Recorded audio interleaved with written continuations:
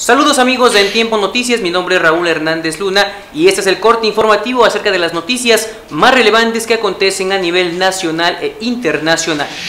En oposición a la reforma educativa, la Coordinadora Nacional de Trabajadores de la Educación ha acordado que el próximo paro indefinido iniciará el próximo 15 de mayo.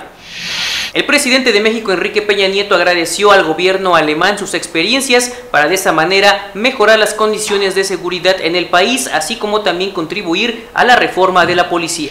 Boko Haram utilizó a niños en uno de cada cinco atentados suicidas el año pasado, todo esto registrado en Camerún, Nigeria, Chad y Níger. Todo esto equivale a 10 veces mayor la cifra que la registrada en el 2014. Entérate de esta y mucha más información que acontece a nivel nacional e internacional a través de nuestro portal www.entiempocomunicaciones.com.